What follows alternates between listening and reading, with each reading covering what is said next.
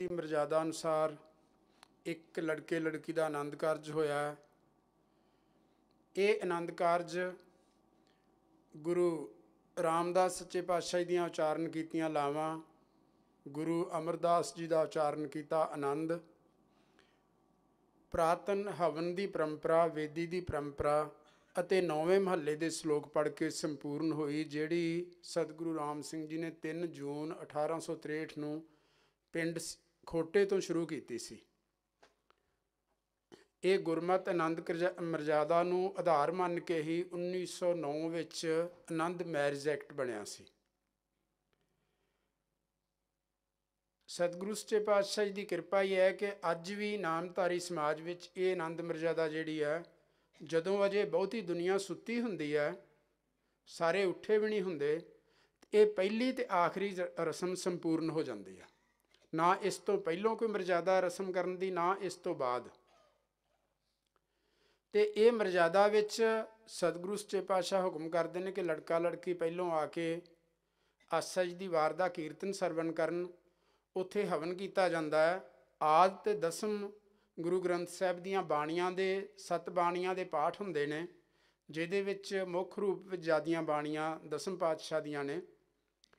ਤੇ ਨਾਮਧਾਰੀ ਸਮਾਜ ਵਿੱਚ ਗੁਰੂ ਸਾਹਿਬ ਦੀ ਬਾਣੀ ਨੂੰ, ਗੁਰਬਾਣੀ ਨੂੰ ਬਰਾਬਰ ਦਾ ਸਤਿਕਾਰ ਦਿੱਤਾ ਜਾਂਦਾ ਹੈ, ਭਾਵੇਂ ਆਦ ਗੁਰੂ ਸਾਹਿਬ ਦੀ ਗੁਰਬਾਣੀ ਹੈ, ਭਾਵੇਂ ਦਸਵੇਂ ਪਾਤਸ਼ਾਹ ਦੀ ਗੁਰਬਾਣੀ ਹੈ। ਅਖੰਡ ਪਾਠ ਹੁੰਦੇ ਨੇ, ਸਧਾਰਨ ਪਾਠ ਵੀ ਹੁੰਦੇ ਨੇ।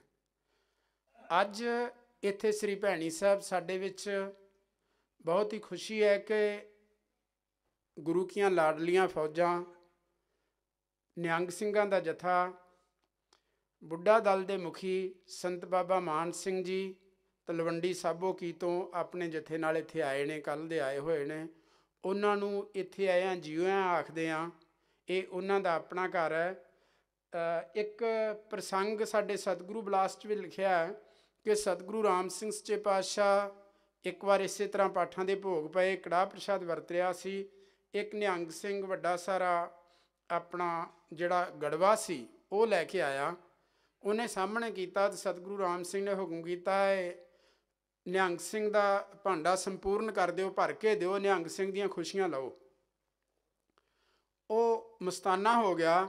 ਕਹਿੰਦਾ, ਮੈਂ ਚਿਤਕ ਚਿਤਵ ਕੇ ਆਇਆ ਸਾਂ। ਮਨ ਵਿੱਚ ਧਾਰਨਾ ਧਾਰੀ ਸੀ ਕਿ ਜੇ ਇਹ ਵੀ ਗੁਰੂ ਗੋਬਿੰਦ ਸਿੰਘ ਸੱਚੇ ਪਾਤਸ਼ਾਹ ਨਿਹੰਗ ਸਿੰਘਾਂ ਨੂੰ ਬੜੀਆਂ ਖੁਸ਼ੀਆਂ ਬਖਸ਼ਦੇ ਸੀ, ਉਹਨਾਂ ਨੂੰ ਬੜੇ ਲਾਡ ਲਡਾਉਂਦੇ ਸੀ, ਜੇ ਇਹ ਵੀ ਅੱਜ ਮੈਨੂੰ ਪ੍ਰਸੰਨ ਕਰਕੇ ਮੇਰਾ ਭਾਂਡਾ ਸੰਪੂਰਨ ਕਰ ਦੇਣ ਪ੍ਰਸ਼ਾਦ ਨਾਲ, ਤੇ ਮੈਂ ਜਾਣਾ, ਇਹ ਕਲਗੀ ਧਾਰ ਮੂਰਤ ਹੈ। ਤੇ ਉੱਥੇ ਸਤਿਗੁਰੂ ਬਲਾਸ ਵਿੱਚ ਸੰਤ ਧਿਆਨ ਸਿੰਘ ਜੀ ਨੇ ਲਿਖਿਆ ਹੈ, ਮੈਂ ਜਾਣਾ ਕਲਗੀ ਧਾਰ ਮੂਰਤ ਤੁਹੀ ਤੁਹੀ ਗੋਬਿੰਦ ਸਿੰਘ ਪਿਆਰਾ ਇਸ ਤਰ੍ਹਾਂ ਦੀਆਂ ਕਰਕੇ ਇਤ ਛਡਾਏ ਉਤ ਭਾਵਨ ਪੂਰਤ ਇਸ ਤਰ੍ਹਾਂ ਦੀਆਂ ਉਹ ਸਿਫਤਾਂ ਕਰਦਾ ਹੈ। ਤੇ ਪੁਰਾਣੇ ਸਮੇਂ ਤੋਂ ਲੈ ਕੇ ਹੀ ਸਾਡੇ ਮੇਲਿਆਂ ਵਿੱਚ ਇੱਥੇ ਸ੍ਰੀ ਭੈਣੀ ਸਾਹਿਬ ਸ੍ਰੀ ਜੀਵਨ ਨਗਰ ਵੀ ਆਉਂਦੇ ਰਹੇ ਨੇ ਨਿਹੰਗ ਸਿੰਘਾਂ ਦੀਆਂ ਫੌਜਾਂ ਇਹ ਜਥੇ ਆਉਂਦੇ ਰਹੇ ਕਿੰਨੇ ਕਿੰਨੇ ਦਿਨ ਆ ਕੇ ਰਹਿੰਦੇ ਸੀ ਪੁਰਾਣੇ ਮੇਲਿਆਂ ਵਿੱਚ ਵੀ ਆ ਕੇ ਰਹਿੰਦੇ ਸੀ ਅੱਜ ਇੱਥੇ ਸੰਤ ਮਾਨ ਸਿੰਘ ਜੀ ਨੂੰ ਆਉਣ ਤੇ ਨਾਮਧਾਰੀ ਸੰਗਤ ਵੱਲੋਂ ਉਹਨਾਂ ਨੂੰ ਸਰੋਪਾ ਭੇਟ ਕੀਤਾ ਜਾਏਗਾ। ਸੂਬਾ ਬਲਵਿੰਦਰ ਸਿੰਘ ਜੀ ਨੂੰ ਬੇਨਤੀ ਕਰਾਂਗਾ ਕਿ ਉਹ ਬਾਬਾ ਜੀ ਨੂੰ ਸਰੋਪਾ ਉਹ ਭੇਟ ਕਰਕੇ ਉਹਨਾਂ ਦਾ ਸਨਮਾਨ ਕਰਨਗੇ। ਉਹਨਾਂ ਦੇ ਇੱਥੇ ਆਉਣ ਤੇ ਬਹੁਤ ਹੀ ਖੁਸ਼ੀ ਜ਼ਾਹਰ ਕਰਦੇ ਹਾਂ। ਜੀ ਸਦਕੇ, ਜਦੋਂ ਵੀ ਤੁਹਾਨੂੰ ਸਮਾਂ ਮਿਲੇ, ਦਰਸ਼ਨ ਦਿਆ ਕਰੋ। ਬਹੁਤ ਬਹੁਤ ਧੰਨਵਾਦ। ਸੰਤ ਬਾਬਾ ਮਾਨ ਸਿੰਘ ਜੀ, ਮੁਖੀ ਬੁੱਢਾ ਦਲ ਤਲਵੰਡੀ ਸਾਬੋ ਕੀ ਤੋਂ।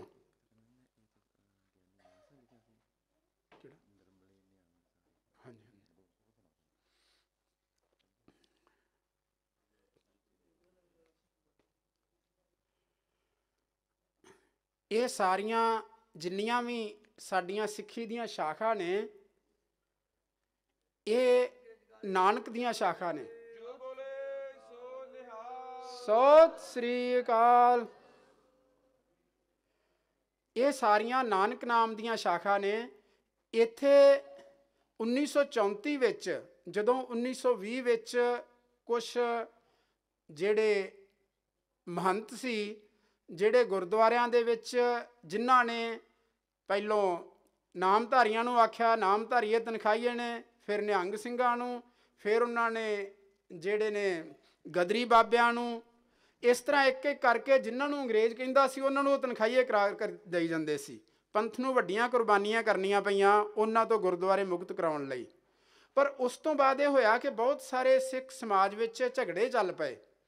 ਉਹਨਾਂ ਤੋਂ ਮੁਕਤ ਕਰਨ ਲਈ ਇੱਥੇ 1934 ਵਿੱਚ ਨਾਨਕ ਨਾਮਲੇਵਾ ਕਾਨਫਰੰਸ ਕੀਤੀ ਗਈ, ਜਿੱਥੇ ਸਾਰੀਆਂ ਹੀ ਨਾਨਕ ਨਾਮਲੇਵਾ ਜਥੇਬੰਦੀਆਂ ਹਾਜ਼ਰ ਹੋਈਆਂ ਤੇ ਉਹਨਾਂ ਜਥੇਬੰਦੀਆਂ ਵਿੱਚ ਨਿਰਮਲੇ ਨਿਹੰਗ, ਉਦਾਸੀ, ਸੇਵਾਪੰਥੀ, ਨਾਮਧਾਰੀ, ਸਾਰੇ ਹੀ ਜਿਹੜੀਆਂ ਸੰਪਰਦਾਵਾਂ ਸੀ, ਉਹ ਸਾਰੇ ਹੀ ਇੱਥੇ ਆਏ।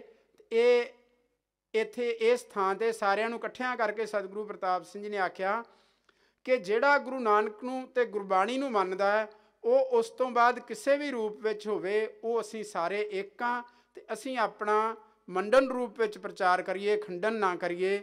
ਉਦਾਸੀ, ਨਿਰਮਲੇ, ਨਿਹੰਗ ਸਭ ਸ਼ਾਖੇ ਹੈ ਨਾਨਕ ਕੀ।